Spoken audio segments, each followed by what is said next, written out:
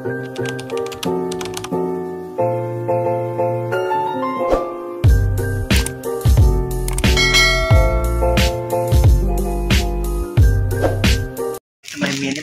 For today's video ako ay magsasama tayo ng kanin para sa aking baon. Yan guys. Halo-halo. Babaunin ko po kasi mamaya yan. Ayan po si mother. Kahiga.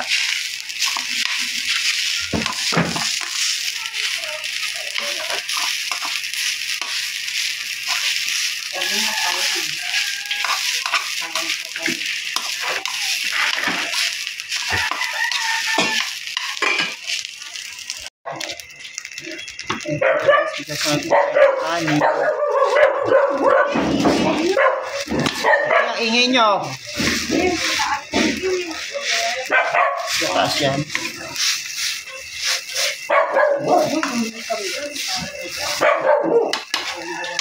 Ayun po guys, yung babaunin ko mamaya, tanghalian. Pasok na po tayo sa SM.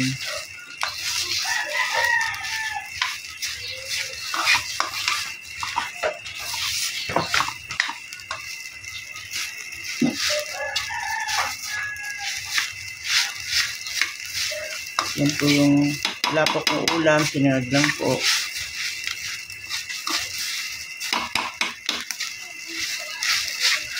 Init, aray.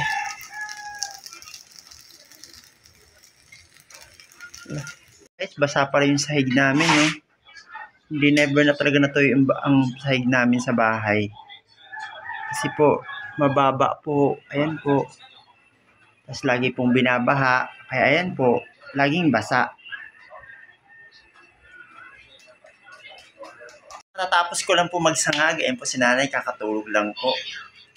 Ayan, pagkatapos ko magsangag, maliligo na po ako mamaya. At ayan, mag-ready na po tayo papunta ng SM at papasok na po tayo ng trabaho kasi bawal pong mag paging tamad-tamaran dahil lumaban ka sa hawa ng buhay.